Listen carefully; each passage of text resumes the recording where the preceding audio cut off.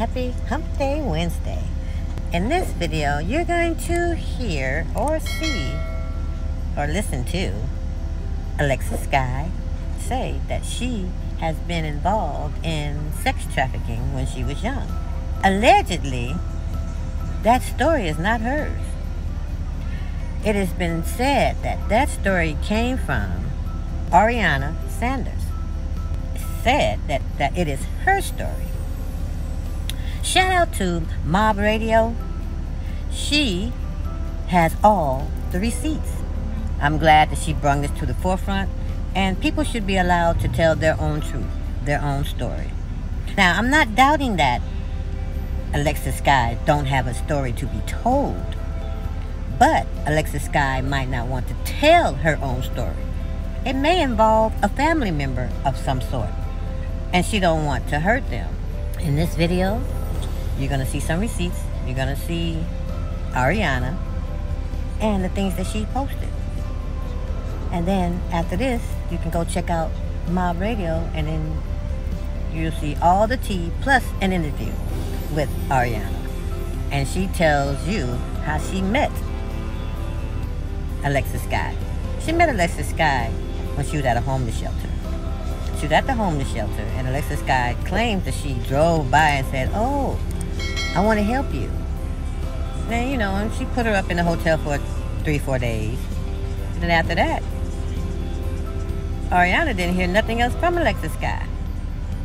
Alexis Skyy, after that, took this girl's story and ran with it. Now, Alexis Skyy do have people who've been knowing her since she was 13, 14, 15, 16. Now, Alexis, you don't want your friends to come out and say, this is not true. Especially if those that have been around you. You didn't think this out very clearly, did you? You just wanted to take somebody else's story. Did you have a storyline, Alexis Skyy? In Love and Hip Hop? I guess you didn't. So you had to use this girl's storyline for your own storyline. That is not cool.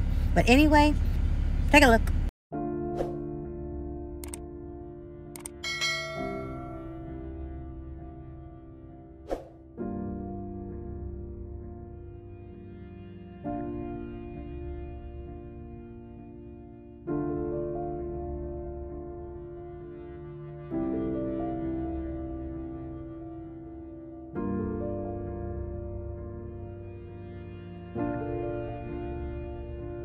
My situation, I left home at like 15, 16 years old. I was a runaway. I wasn't kidnapped, but I was held hostage.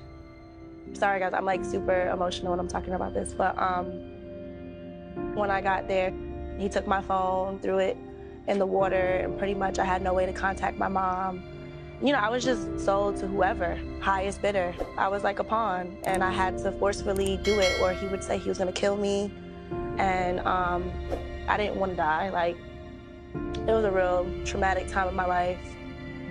I prayed, I prayed, I prayed. I said, God, please just let somebody find me. And um, this guy, he was like looking at me and he like, he seen like tears coming down my eyes. And he was basically like, uh, what's wrong? And he asked me how old I was and I'm like 16. And then he was like, all right, say less. And he dropped me off at the bus station. And that was it. And he never told me his name. Wow. That was my only way out. I've been knowing you for quite some time. Not in a million years would I have ever thought that.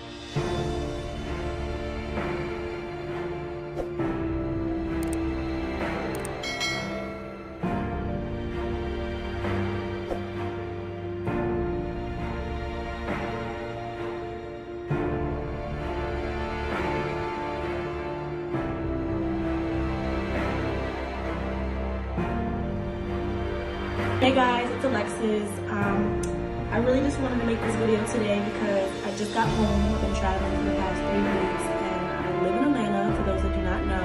And I heard there's a lot of crazy things going on. People are getting killed, people are getting kidnapped, there's a lot of human trafficking going on.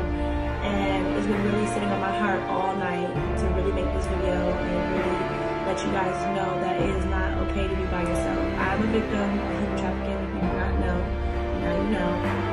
Really feel like, ladies, if you're not with your friends, if you're not with your family, do not go anywhere by yourself, especially in Atlanta, all over the world, Cali, but it's really, really heavy in Atlanta. And I really just feel like you guys need to watch your surroundings and have mace on you, have a taser on you, if you have to have a gun, just do whatever you need to do to protect yourself because it is really serious. It's the scariest feeling in the world. And um, yeah, so I just really wanted to make this video because I don't think it's okay and this has to stop.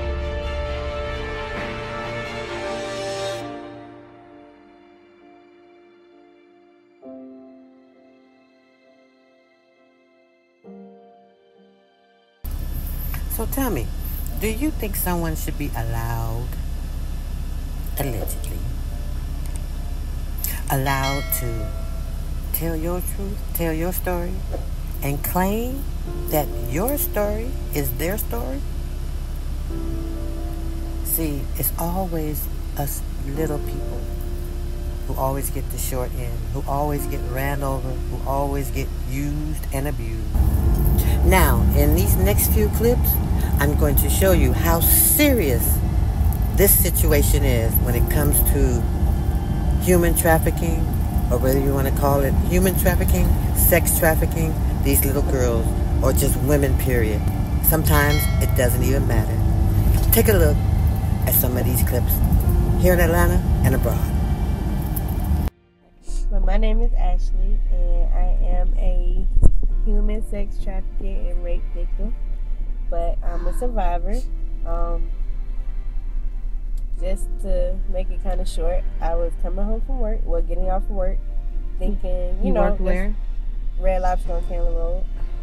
Coming home from work, going to the bus stop across the street, and I was kidnapped um, by three guys, thrown into the back of a van, um, drugged.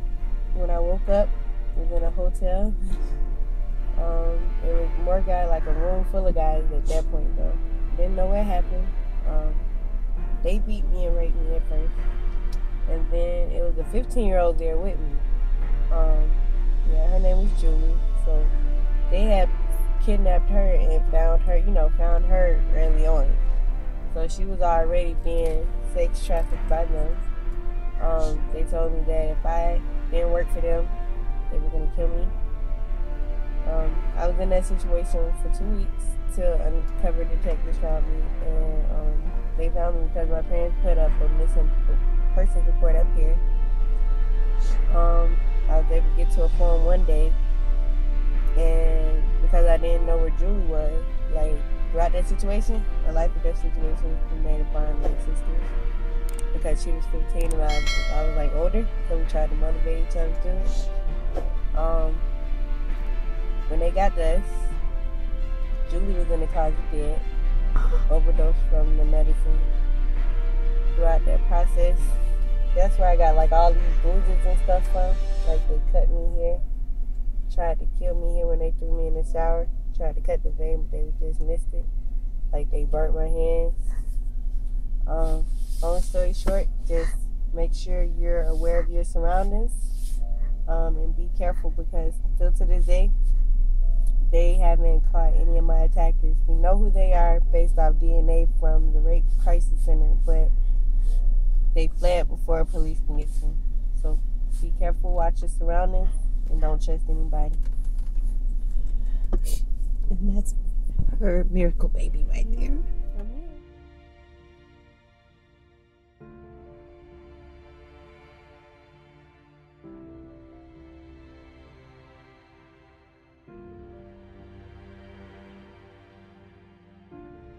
In 2017, the National Trafficking Hotline says there were 276 reported cases of human trafficking in Georgia.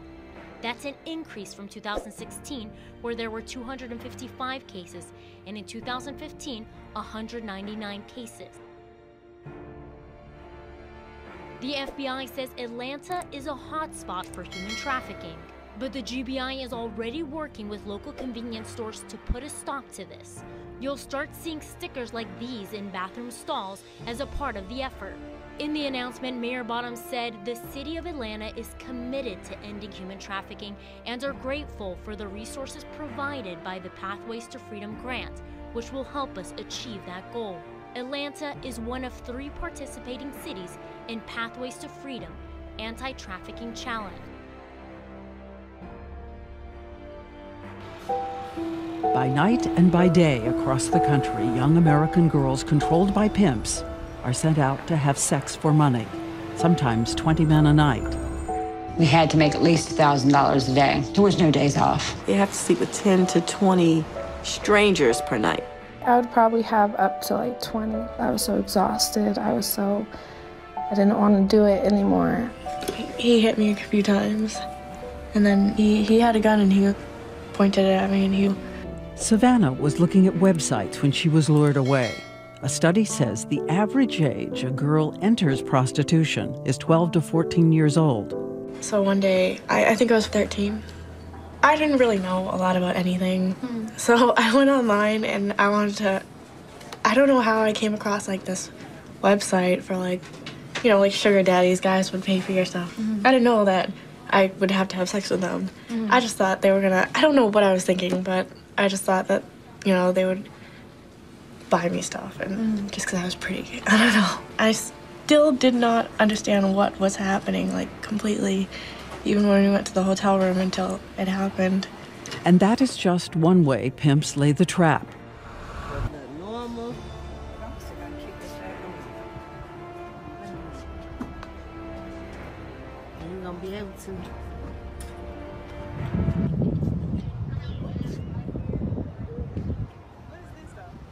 What? That's the power, everything that power, all this shit in here. Mm. Extra air, all that. That's air? It's, it's like this, like all this. I didn't even see that. I don't even know what all this is. It should look like a bomb or some shit. This is, I don't know, this right here. That's like the door. I think this unlocked the door. I want to close y'all in here and see. No, don't close me in here. Yeah, I would. I, let no, me. No, I'm gonna open it. I just want to see. Knock on it so we can see. Can you hear? I will. Climb out, Alicia. Let her do it. She ain't scared of him. Close the door. She from Texas with the same something. Knock. Hold on. Knock. Say something. Scream.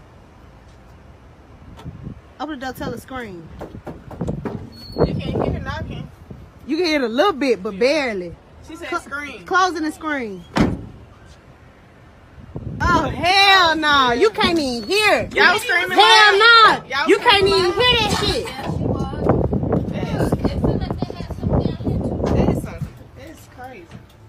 Look, look, listen to this.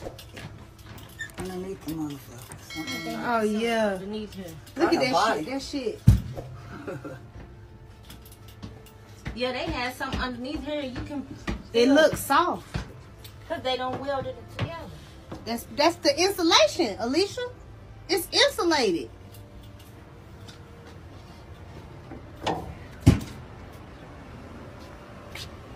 You can't even hear. That's crazy. This some fucked up shit.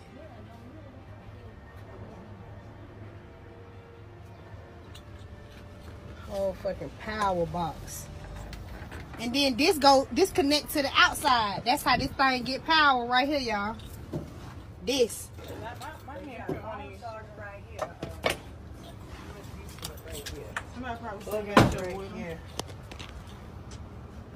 What is all this shit running down? Like they, like they right, like they tried to clean it. Cause they don't tell them what they don't roll. The only thing you can see visible is that help. Yeah, and them little scratches. That's it. Look at look on the roof. Look at all them scratches up there. Look.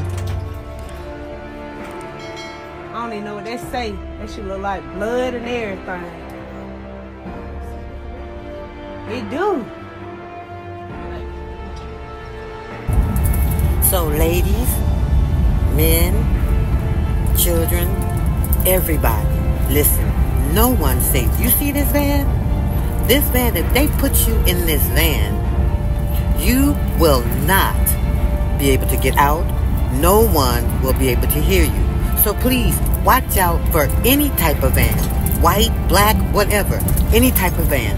Please pay attention of your surroundings. So thank you very much for watching. So tell me, what did you think? Or what do you think about this story? Don't forget to like, subscribe, and leave a comment below. Don't forget to tell a loved one you love them because tomorrow is not promised to anyone. And always stay thankful and grateful. Once again, thanks for watching. Ciao for now.